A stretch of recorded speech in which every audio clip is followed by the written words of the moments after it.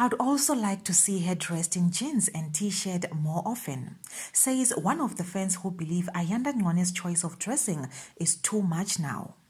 Ayanda Ncwane's style of dressing is always all out and glamorous. She never misses the opportunity to always look fancy. Even if she's meeting a friend for a chat, Ayanda does not hesitate to look as fancy as she always does. Hi Tea Squad and welcome to the Tea World. Her fans are getting tired though, Tea Squad. They say that she is being too much now because she always dresses fancy.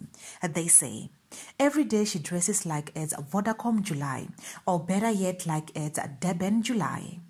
It is said that Ayanda has the never let them catch you sleeping type of attitude, hence she dresses the way she does. But is also said to be overdoing it now.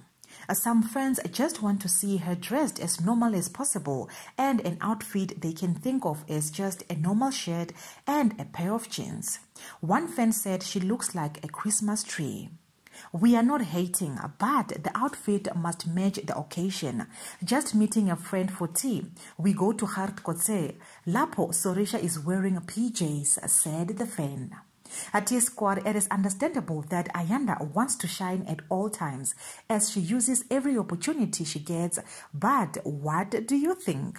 Do you agree with her fans? Do leave your comments down below. I love you.